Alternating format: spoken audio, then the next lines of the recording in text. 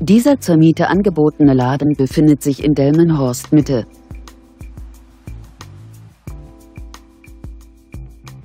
Das im Jahr 1979 erbaute Ladengeschäft wird über eine Zentralheizung beheizt. Das Objekt weist eine Verkaufsfläche von ca. 125 Quadratmetern auf. Das Objekt hat einen Mietpreis von monatlich 2500 Euro. Kontaktieren Sie uns.